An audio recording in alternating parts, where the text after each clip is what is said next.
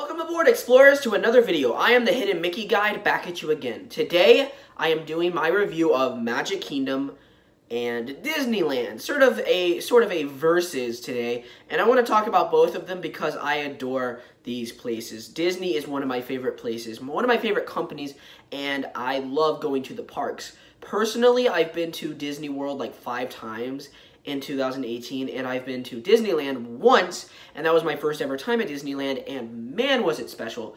I don't know if it was a honeymoon phase, but there was just something different about Disneyland compared to over here at Magic Kingdom. So today I'm going to compare. It may be a long video, may not be, I don't know yet. Pop some popcorn, get a soda, let's sit down and let's get right into the video.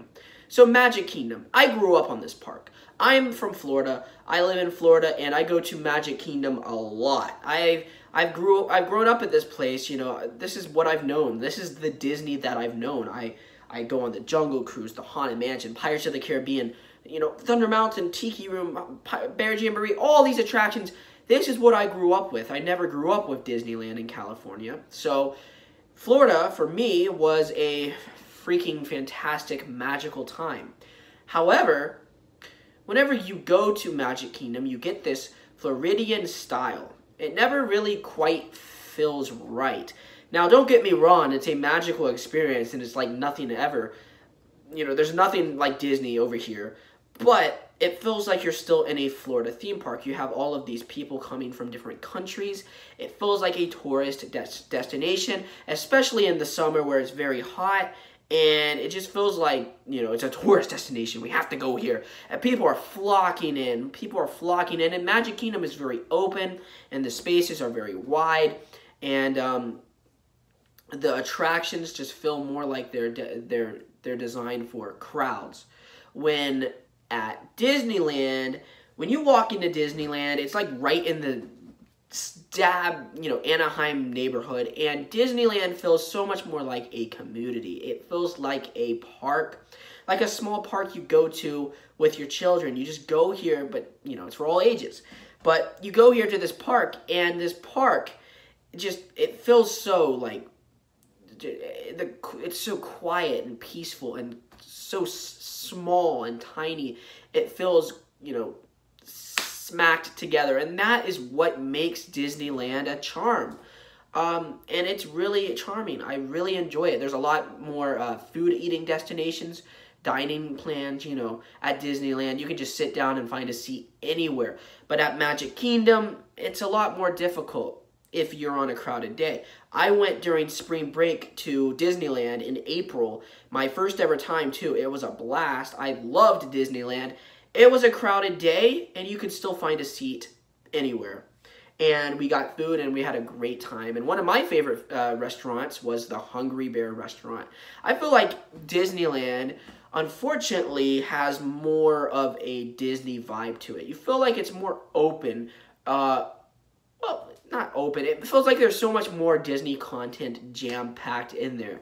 Uh, people always talk about Disneyland being combined when Disney World has everything thrown out together. And Magic Kingdom, um, just it feels still like Disneyland, but it feels a little bit more like a like I said, a tourist destination. It's designed so you have to go to the other parks, but at Disneyland, it's designed really you just have to go here. You don't even have to go to California Adventure if you don't want to, but you know, it would be nice. Um, so yeah, Magic Kingdom, I adore the fact that they have a lot of shows. They have the Carousel Progress.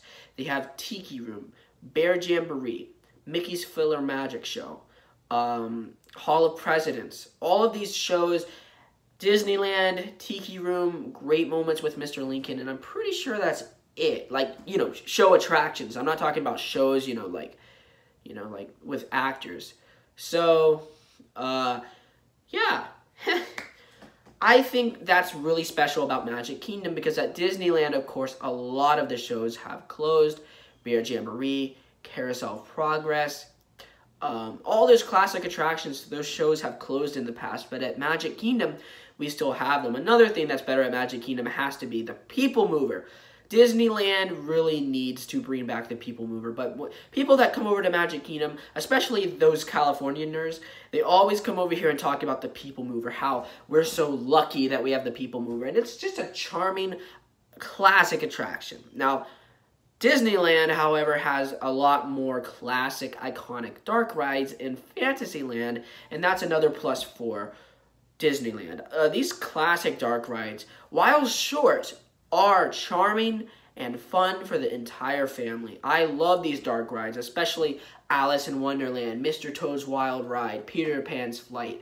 Um, it's a small world, which is not really a dark ride, but it's a flume. Anyways, and Snow White's Scary Adventures, etc., etc. Great attractions for all ages.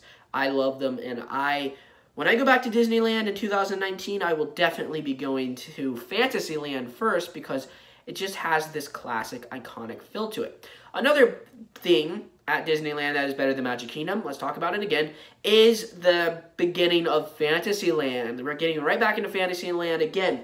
The Fantasyland at Magic Kingdom has a fair, a medieval fair look to it. The facades of all these attractions have like a, it looks like a fair. I don't like this. I'm personally not a fan of the facades at Magic Kingdom. A lot of people aren't, and I think they should get a big refurbishment like the facades at Disneyland. They got big refurbishments in the 1980s those facades are now like a cottage and it feels like you're in this little old cottage. And uh, personally if you know me i like old stuff. I like old buildings and stuff and this is a big turn on for me. I love the way fantasyland looks at disneyland. I adore it and it's fantastic. I love the the architect uh, mr toad's statue right outside of mr toad's wild ride. Freaking fantastic. I love it. Um but Magic Kingdom has New Fantasyland, which actually really reminds me of Fantasyland at Disneyland. So I think in a couple years for uh, the big anniversary of Magic Kingdom, they should completely refurbish Fantasyland and make it look like New Fantasyland. Then it would be perfect. It would probably be my favorite place in the park. It already probably is my favorite place in the park, but yeah. And there's a lot more... Um, variety at Disneyland. That's another thing. All you thrill ride people, there's a lot of thrill rides at Disneyland, like Indiana Jones Adventure, um, Star Tours, Matterhorn, Thunder Mountain, Space Mountain, Splash Mountain, all of those. But when I go to Disney, if you know me, I'm not a fan of uh, just thrill rides. I'm a fan of all of it because I love the story that it's trying to tell. And yeah, so what park is better? Well, in my opinion, I think Disneyland is a little bit better. It has more dining opportunities. opportunities. It has a charm to it. You can really tell that Walt Disney walked through here. It just has this this this magical feeling that you don't get at Magic Kingdom. You get a different kind of magical feeling at Magic Kingdom, but at Disneyland you get this I don't know, you just have a it has a special charm to it because Disney Walt Disney actually designed Disneyland with his Imagineers known as WED in the old days, and it was just a magical experience for me. And I can't wait to go back in 2019 for my high school graduation party with my grandmother, Oma Jelaine. Hopefully, we're going back in 2019. I hope you enjoyed this video. Disneyland has to be the best for me. It has more variety, it has a lot more attractions, even though at Magic Kingdom, it has a lot of classic shows that I wish they still had at Disneyland Disneyland has a lot more variety. You have a lot of stuff you can do, and it would take you about two or three days to complete all of it. We went two days, and we still had a lot of stuff to do. So I hope you enjoyed the video. I still love Magic Kingdom. It is my childhood home. So leave a like, comment down below, subscribe to whatever the heck you want to do. And remember, guys, adventure is out there. Bye, everyone.